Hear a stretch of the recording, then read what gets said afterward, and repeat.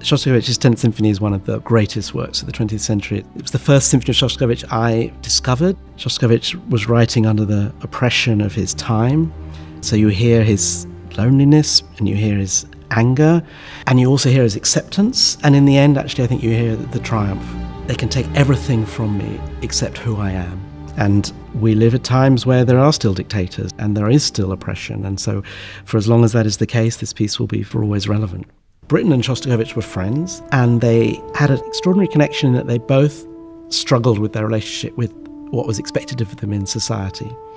Shostakovich politically, Britten on a more personal level, and how they held on to their core beliefs whilst trying to work within society is something that we all deal with in our lives.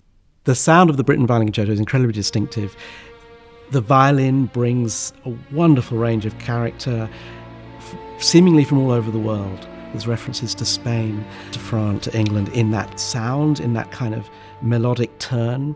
And there's also a great theatricality of how the instrument plays with the percussion. Walton's First Symphony is an amazing way to end the season.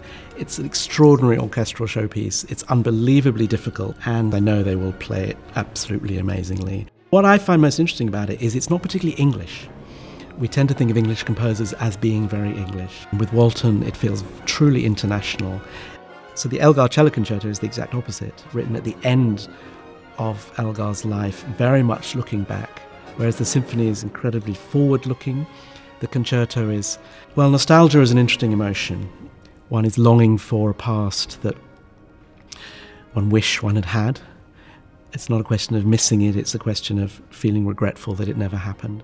There's a deeply felt personality that I know Daniel, the soloist, will do so well in the sense that, of course, you have to project it to the audience, but what you're projecting is something incredibly private. And I know he'll get that balance perfectly.